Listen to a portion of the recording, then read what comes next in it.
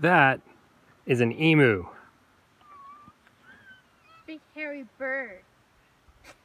No offense, bird. I'm scared. I want to go up to it and give it some food, but they kick hard. Do they kick? Uh, Yep. Look at those legs. Those are big legs. I'm scared. I'm scared. I'm scared. Don't be scared.